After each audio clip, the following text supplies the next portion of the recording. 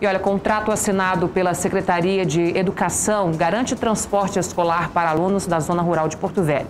As aulas estão aí previstas para começarem em abril. O contrato para aquisição de ônibus escolares próprios para atender a área rural de Porto Velho foi assinado. O investimento foi de 36 milhões de reais. Com determinação do prefeito Hildon Chaves, né, esses ônibus vão proporcionar maior conforto, maior segurança para os alunos e a continuidade.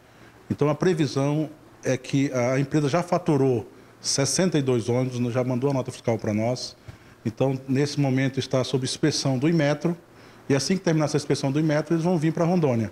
Então a gente espera aí que agora, é, nessa semana ou na próxima, já chegue esses 62 ônibus. Os demais ônibus, os demais em torno de 80 ônibus, está previsto a chegada para o final do mês de março.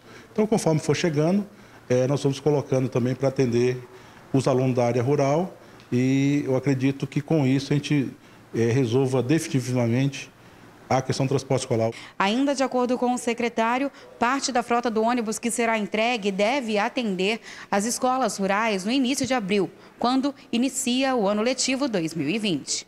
Na zona rural de Porto Velho, há cerca de 500 alunos. O ano letivo está marcado para iniciar no dia 1 de abril. E nós vamos tomar todas as providências para que no início de abril ele já comece a rodar e atender as escolas rurais. Ainda segundo o secretário, os alunos terão a reposição das aulas perdidas em 2019. Hoje o transporte escolar é, é, rural está sob intervenção do governo do estado. Então o, o secretário Suame, que é o que é o interventor, ele tem colocado alguns ônibus para atender nossas escolas.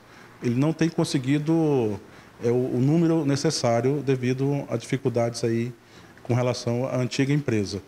Mas, assim, as escolas que nós, estamos colocando os ônibus, que a SEDUC está colocando os ônibus, nós estamos repondo as aulas. Então, a gente espera aí aproveitar também o mês de março para repor as aulas nessas escolas o maior número possível, para que a gente diminua esse déficit aí de, do ano letivo, né, de 2019, para que 2020 eh, comece, eh, eh, sem, algumas escolas já sem eh, essa reposição de aula. A previsão para a conclusão do ano letivo 2020 é para o dia 20 de dezembro. Já o recesso do meio do ano será de 15 dias, no mês de agosto. Essas datas foram definidas após reunião da Secretaria Municipal de Educação, SEMED, por meio da Divisão de Ensino Rural, junto aos diretores das escolas. É, esperamos que, que a gente esteja chegando no final né, dessa, dessa novela que se arrasta há muitos anos e que cada vez mais vem, vem piorando. Esperamos que as coisas agora passem realmente a acontecer.